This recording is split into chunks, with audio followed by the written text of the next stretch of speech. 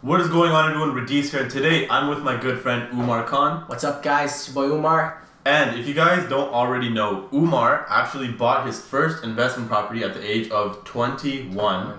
So first off, congratulations, man! It's actually insane. If you guys haven't been following along, me and Umar met probably like what around this time last Around year. this time last year, yeah. And already I've just seen so much growth in this guy, so it's insane. And today he's actually gonna break it down and give us kind of like a step by step rule, or I guess instructions on how he went about buying his first property. Again, by himself, no handouts, no daddy's money, none of that. So Umar, man, honestly, just just take it away. All right, guys. So the first thing is, guys, it's, it's mindset. You know, um, that's what Radies always had. That's why we connected so easily because he had the mindset right. And at a young age, I got the mindset right too. I started reading books, doing a lot of personal development things because what that'll do is that'll open up so many doors to you. You'll meet cool friends like Radies. You know, you'll have a nice team around you of, of supporting people. Uh, people in your life too. They'll start getting serious. They won't like. They won't kind of like pull you off track. Because a lot of people have the excuses like oh my friends don't do this you know my friends are into reading and stuff. Mm-hmm. Doesn't matter. When you're involved either they're going to join you or they're not going to they're going to leave you let you be. That should not be an excuse. So number one no excuses. Change your surroundings right? And number two is money guys. At the end of the day like that's that, that that's the main thing. If you don't have money go get a job right? You don't have to get a fancy degree. I don't have a fancy degree. I went to college for like a year mm-hmm. to a program that like most people go late. Like everybody in my class was like 30 plus because it was a, such a program where people went after. So go, like go study something or go get a job. You you want to say like what that program was? yeah i actually went to become a licensed optician. Yeah. it's two years in ontario one year in bc um, yeah you go i went i studied. It was a great time. For me it was really good too because like i was telling Radies too i was really shy growing up there's no way I was able to like connect with people because I grew up in like a tight Indian community where like we were just we were family our whole life. We go with our cousins, we go with our mom and dad. There mm-hmm. was no a lot of friends, right? And my parents like they didn't let us go to sleepovers and stuff, so there was not a lot of friend interactions and mostly family. But for me to leave all my family behind and go become isolated was crazy. I mm-hmm. learned how to network. I learned how to meet like like-minded individuals. Where it's like you don't just have to meet people that are related to you. You know, you can make boys and strangers. That's the big thing I took away from it. It really made me social because again, like I said, everybody in my class was thirty plus. So for me to go out, make friends my own age was uh, something where I had to take a step forward to do and go out myself. And the next thing is so we got funding down, we have uh, your mindset down. Um, the next thing would be like qualifying for a mortgage, right? And me and Radies were talking about this too. So if you can't qualify for a mortgage, you can always JV with someone who can.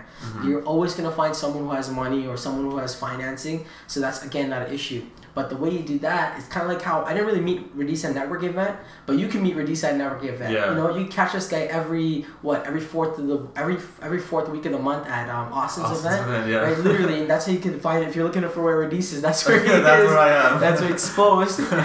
rise now. But literally, guys, there's guys like me, there's guys like Radies, young people like our age that are out there hustling. It's just a matter of going out and finding them. And there's literally there's no excuse for oh they don't do this in my city. Oh they don't know they do it everywhere. Right? Mhm, yeah. There's people like that everywhere. Go out and network. Make make make friends with people because you might just you know you might just graduate from high school, right? And I was confused when I graduated from high school, right? You might be too. But if you start building a network now, you start saving money now, you start having employment history now, like that's the steps you need to go out and buy a property, right? And the last step would be finding a deal. You know, Radies is really big on off market. You know, he closed off market deal before. He's a real estate agent too. Uh, there's guys again, guys like Radies who could set you up with someone who's off market. Uh, me and Radies have some some business plans in the future, and like we're connected with somebody who does off market deals. So again, like guys, like there's there's a matter of you know money for sure, job employment for sure, but find the right deal. Don't go buy the first thing you see on MLS, right? Yeah, like, yeah. MLS should. Uh, there's nothing wrong with MLS. There's a lot of stigma behind. Oh, there's no deals on MLS. No, I got my first property on the MLS, and it was like a. And we were just doing numbers. It's a solid bear. Mm-hmm. Um, but you could find deals on MLS, but don't restrict yourself to just one thing, right? Oh, I only want to do uh, like I only want to do rental properties, or I only want to do flips. I only want to go MLS. Only want to hold. No, open your options for everything and see what comes to you. Um, and yeah, I think like if you could take those things, like you could go so far with just that alone, like networking, mindset, having good people around you, having your money ready. Like those are the key steps that I use personally Yeah. to, to buy my first rental property. Yeah, and like if you're a subscriber, you already know. Usually, I like to do like property walkthroughs and whatnot. So Umar did actually buy his property in Chatham. We will get down there, and I will show you guys what it looks like, all the stuff. But Umar, just for now, do you mind breaking down the numbers just to let people know, like you know, how you like what the actual numbers are and why it makes sense? All right, guys. So I purchased the property for one hundred forty thousand dollars, um, and then the rents. So right now, two of my units are actually rented out, and third unit is waiting. okay, okay, hold on. So you bought a triplex. About to try. Oh, So a bit too faster. Okay, so well, okay, okay, okay, okay. Okay. Let's try it again. Let's try it again. Talk about what your down payment was, what you um like like in detail. So In detail, okay. All right, guys. So the property I bought was a single family home that was converted into a triplex about 20, 30 years ago. And a triplex is It's a legal triplex, so it's three separate units there. You go. inside of a inside of a house. So Mhm. instead of having one door, you have three doors. You have three separate tenants, and they're not sharing. They're completely separate. Separate kitchen, bathroom, living areas. So the only time they see each other is outside the property, not not inside at all. So that's what a triplex is for those who don't know. Uh, so the purchase price was one hundred forty thousand dollars. I put twenty percent down. Now for your first property, you don't actually have to put twenty percent down. Uh, the only benefit to putting twenty percent down is you see on CMHC. If you don't live there, obviously the bank won't like you can't do You less than do twenty five. percent. Yeah. So you'd have to actually physically live there, which I had no plan because it's so far away and I don't work close by. So I put twenty percent down. You can talk to your mortgage agent, see what you could do. Now I'm collecting since I have three units. Um, I have two units that have tenants in there, and a third unit that's being that's going to be rented out by the end of the month. The first unit is paying me four hundred eighty-seven dollars a month. The second unit is paying me four hundred sixty-eight dollars a month, and the third unit is estimated to be paying me six hundred dollars a month. The crazy thing is, the third unit is the smallest out of the three. Um, these tenants have been living there for 25 years plus, so they're really grandfathered in. Mm-hmm. The previous owner never raised the rent on them until this year, so that's what they're My paying God. From like when they just started. I had a property manager come to the site. He only came to came to the small unit because there's tenants in there. I couldn't walk him through, and he was saying like the way it was like as is would go for six hundred dollars a month. But obviously, I put some work into it. I don't want to boost the number, so that's why I kept six hundred. But I could potentially be making a little bit more. hmm And like I said, when we do the walkthrough video, so when we do go down to Chatham, we'll like completely break down like Yeah. all the individuals and whatever. For sure. But yeah, I mean, if you want to continue with Yeah. um, So now, should I go through like the expense and everything? Like no, no, we don't have to go through that because like in the separate video we'll go through all that. Okay. But I guess just for the sake of this video, so purchase price, um, and like what your strategy is, I guess, in terms of like what you think you're going to be doing with it. So is it a burr? You can sell it, all that stuff. Okay. Yeah, and strategy wise, guys, at first when I bought it, I literally just wanted to do a buy and hold. I was like, I was like, even though it's into the real estate world, I'm starting to get my real estate license. Mm-hmm. Like we go to these networking events, everybody's talking about burr. I still didn't know what a burr was until after I closed on my property. Yeah. So, So, do you want to explain what a burr is? Yeah. You know. So, so burr basically is you buy a property, uh, you refinance it. no, you don't. You buy the pro- oh, you buy the property, you renovate it, you refinance, you repeat. there you So go. essentially, you buy it, you you fix it up, hmm you take money out of the property, and you use that money to go buy your, your next deal. Exactly. And a perfect burr would be if you bought the property for 20k, you invested maybe 5k to renovate it, and then you pull out 25k. That would be perfect burr because you pulled all their money that you put in.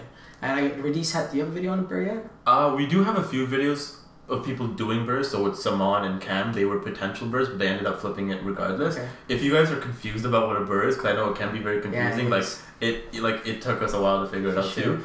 Uh, comment down below, say burr, and I'll make a Yeah, whole made- breakdown yeah, video. Yeah, definitely put it break. But yo, check out his other videos. He has other investors who like like they like they're killing it. So check those Yeah. videos out too. Um, you can find on his channel. But that's what that's what like I'm doing now. So again, go back to like don't overanalyze everything. It doesn't have to be perfect. Your strategy doesn't need to be perfect. Like you Yeah. can literally just I would just jump in. Don't but not blindly. You need to have the balance. Like I still knew what I was getting to. I had like I ran numbers. The crazy thing is I'll actually put it on the camera right now. Um, no, no, not that one. Literally, guys, like I was, I was run. This, these are, oh, these are focus. Here, I think I gotta tap it. like these are numbers that I was calculating from like There you go. You get the idea. But I was calculating numbers. I had to. Make, you still have to make sure cash flows. You might not know everything, but what you know, it has to match what you already know. So I already knew what I was getting into. I knew how much I was gonna make from the property, but I never understand other things you could potentially do. So to answer this question, what's my strategy? Definitely burr. So I bought the place. I'm in the middle of, uh, of renovating it. Like I'm going one unit at a time. Then when the time comes, I'm gonna refinance and take that money and put it into the next deal. And that's yeah. So Yeah, and again, if you guys are new to real estate investing, that probably just sounded like a lot of craziness to you. Again, if you do have any questions, drop them down below. For Either sure. myself or Umar will answer them. For And I think Umar, you also did a video breaking down your deal as well, right, on your Yeah. YouTube channel. So if, if you guys want, go check that out. I'll link down Umar's stuff down below. Um, and other than that, Umar, your like I'd say your big tip as into how to how you bought your property at the age of twenty one. What would you say like the most important tip or most important thing you've done is? most important thing is your surroundings, guys. Because when I was younger, my surroundings are not who I hang out with now, right? because when you're around people that are not negative necessarily, but people that just want to waste their time, just want to play 2K, they want to play GTA online, Yeah. that's what they're going to do forever, yeah. right? And if that's what you want, hey, that's cool. Nobody's telling you not to. But if mm-hmm. you want to go out, you want to be an investor, you want to make money, you want to be an entrepreneur, you have to put your place in surroundings, right? And the best thing is, because this was an excuse I used to make all the time, is nobody in my area is an entrepreneur. What am I gonna do, right? But all these guys behind you can be your friends, right? Literally, you could get Robert Kiyosaki being your mentor just by buying his book for fifteen dollars. Yeah. You can learn from the best, and like I can see, there's already so many big authors back here that Radies has learned from. So there's never an excuse that oh nobody in my community is doing it like me or doing it how I want to do because you don't need people in your community. You can start online.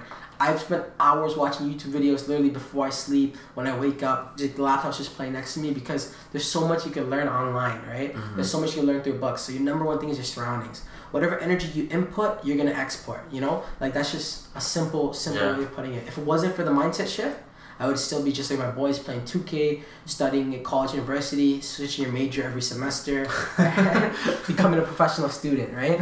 Yeah, and I mean, like guys, Umar said it perfectly there. Like just what you surround yourself with and what you're intaking, like your energy and like all the info you're taking. Another thing is, guys, if you don't already know, I have a course called Seeking Success, and mm-hmm. Umar actually has a lecture in it. Yeah. And guys, I like I'm not even lying, and Umar knows this too. I've watched Umar's lecture. I shit you guys not, at least four times because it's just that good. He talks about the compound effect and just building habits and things like that. That I think it's like a 25 minute video. Yeah. Like it's an insane video, guys. If you guys do want my course, there'll be a link down below. Go get it, and you guys can l- learn from myself as well as Umar as well. Sure. Um, and other than that, guys, I think that's pretty much it. Um, myself and Umar, we're gonna make more videos like always. We have loads of videos together already. Um, and like I said, like always, guys, if you did enjoy, hit that like button, hit the subscribe button, and hit that notification bell so you never miss a video. And until next time, we'll see you guys later. Thanks and goodbye.